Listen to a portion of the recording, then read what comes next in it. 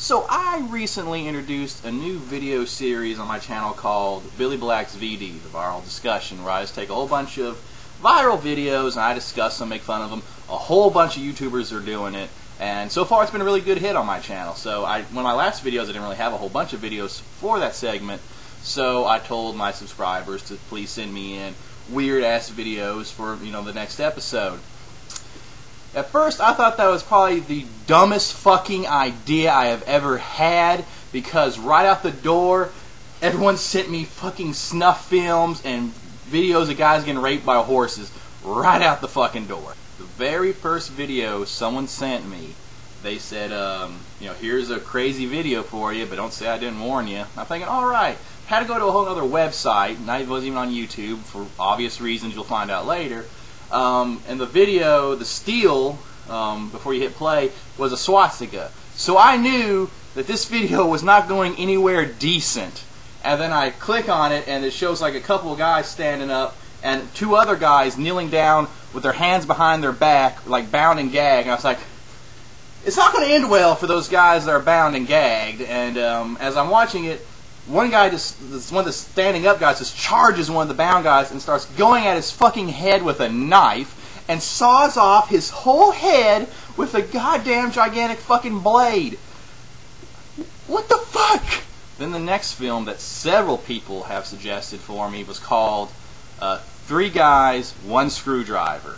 Now, I knew it had to been a shock video, but in my mind, what I thought the video was going to be about was a guy taking a screwdriver and jamming it up his pee hole. That's what I imagined to be all the time. So I avoided that fucking film. I was like, all right, well, everyone's suggesting it now. I'm going to go check it out, and maybe I can talk about something like that. And it's another goddamn snuff film. What the fuck, guys? It just, it's three, it's two, well, it's two fucking kids beating the fuck out of a guy with a hammer in a bag, and they start jabbing at his eyeball with a screwdriver, and then he dies, and they, they fucking stroll away. Now, I actually had to look this up on Wikipedia to see what the fuck the story is, and it's real. It's like a bunch of Russian kids. They're in. A, they're in. They live in some random village, and they have killed like 20 people. And they they had videos of them um, going to the funerals of the people they killed, flipping off the coffins, flipping off the tombstones, and then they had a whole backstory on Wikipedia page. They had a whole backstory for that that victim in the video, and talks about his life and his other near-death experiences, and you know his children. So there's like a whole face to him now. And, and, and now the kids, they were sentenced, thank God. They all were sentenced to life imprisonment. Fucking life in prison. They should give the widow a screwdriver and a hammer and just let her fucking go at those punk ass motherfuckers. Now, the other video that was sent to me, and was, again, it's another video that's been suggested many times, but I've avoided it. And I had to watch it though. It was um, two guys and one horse, if I'm not mistaken. That's the name of the video. It's a dude getting fucked in the ass by a gigantic fucking horse, and then he dies fucking after the incident. Uh, and then I had to look that up too on Wikipedia, and of course it gave me his name. It's like Kenneth uh, Pinyan or something like that. And they made a fucking movie about that. The Sundance Film Festival made a movie called Zoo, and the, like the poster for it is just like a fucking eye, uh, eye of a horse.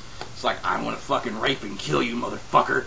Uh, so and that actually that video and his death caused like Washington to say, okay, you know what, bestiality isn't cool anymore, and if you film it, you're probably going to go to jail for a while. Why did it have to take someone getting killed and they go, you know what, we can't fuck animals anymore. We can't let them fuck us in the ass.